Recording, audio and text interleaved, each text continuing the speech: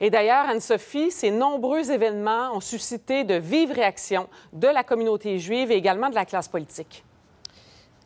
Oui, exactement. Comme on l'a vu toute la semaine déjà, eh bien, ça se répète aujourd'hui. Hein, euh, les associations de défense des droits des Juifs, les, centres communautaires un peu partout à Montréal se réunissent aujourd'hui et demandent un appel au calme. Entre autres, il y a Brit Canada qui a réagi un peu plus tôt ce matin, disant qu'encore une fois, ce genre d'événement était euh, inacceptable. Et ce matin, comme le dit mon collègue Kevin, il y avait des cours à cette école-là à 7h30.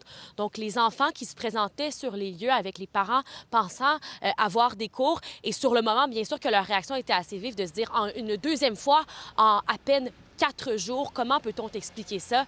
Euh, écoutons tout de suite quelques réactions justement des communautés juives euh, qui étaient bien en colère ce matin. Jour après jour après jour, avec l'antisémitisme, avec les appels pour tuer les juifs, c'est attendu, malheureusement, que quelque chose comme ça va passer. This is one thing is happening in Montreal, one thing and one thing only. The Jewish community is under attack. Il faut dire que c'est pas juste une attaque aux communautés juives, aux familles, aux enfants juifs, mais c'est une attaque à, aux valeurs ici au Québec, à Montréal. On fait pas ça ici. Et comme je vous le disais, plusieurs associations qui se sont euh, réunies ce matin, euh, dont le Centre de concertation là, euh, de, relations raciales qui s'est réuni.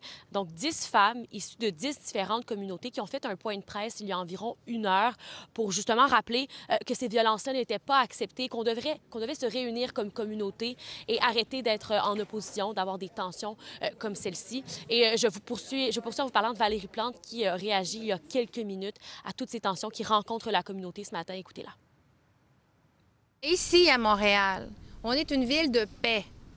On considère qu'on peut avoir des avis qui diffèrent, avoir des opinions, des, éléments à, à, mettre de l'avant, bien sûr, parce qu'encore une fois, c'est un conflit qui est complexe. Mais il n'y a pas de raison, il n'y a aucune raison qui justifie qu'il y ait des tirs qui soient lancés sur une école primaire, sur nos communautés. Un, un acte antisémite comme celui-là n'a pas sa place à Montréal. Le ministre de la Sécurité publique, François Bonnardel, a également réagi. Il nous a dit qu'il comprenait l'inquiétude de la population et que la situation est prise très au sérieux au SPVM, que les enquêtes sont en cours. Alors voilà d'autres réactions à suivre un peu plus tard aujourd'hui. Merci Anne-Sophie. À plus tard.